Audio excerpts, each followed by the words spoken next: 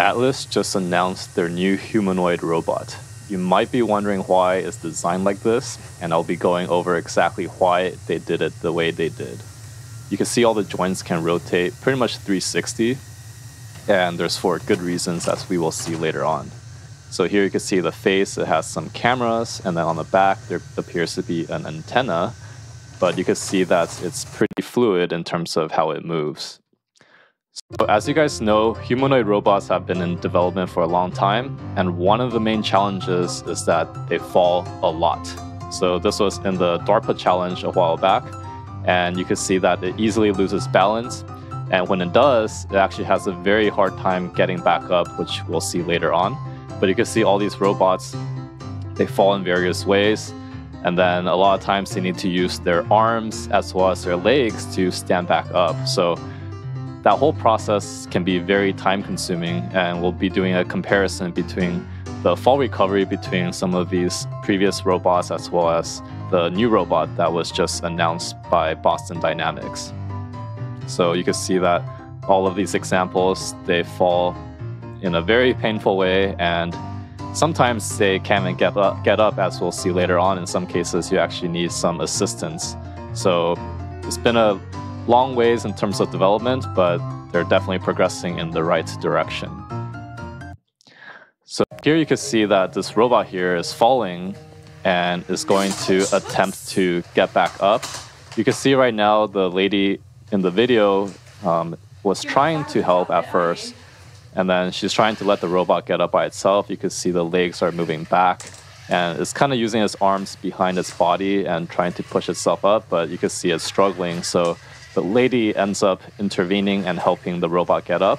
So you can see that this fall recovery here is still not that great, and there's still definitely a lot of work to do.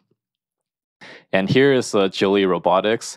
You can see that they have implemented their own way of um, standing up after falling, but it's painfully slow to watch. It takes them about 20 seconds to actually go through the whole standing up process.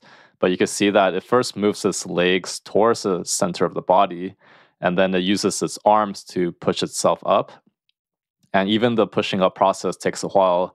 And it's the, the main idea of pushing the arms is to try to get the center of mass above the feet, and that allows it to stand up after it has done that. And here you can see this is an old Atlas robot. So this old Atlas robot, you can see it's lying on the floor. And then later on, the user here is going to try to activate the get up mode. But again, it's going to be pretty slow in how it gets up.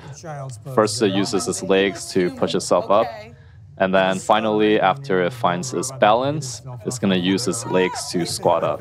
But even this took about 15 seconds. So nothing compared to the robot now. You can see that all it needs to do is rotate the legs towards the center of body, and then it just needs to stand up. So it's able to do this so quickly because by rotating the legs to the center of the body, as you can see right here, it actually positions the center of mass directly um, between its legs, and that allows it to just immediately use the strength of the legs to push itself up.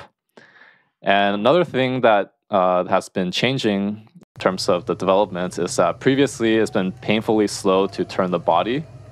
So you could see that here in a DARPA challenge, it wants to try to face the wall and it needs to take one step at a time to slowly reposition the feet to face exactly where it wants to. So this whole process took about 20 seconds and it's again painfully slow to watch.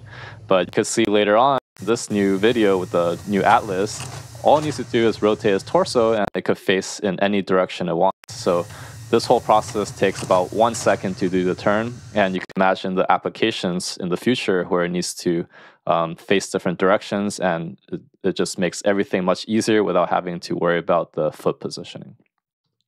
All right, so if you found this video helpful, give a like and subscribe, and I'll see you in the next one.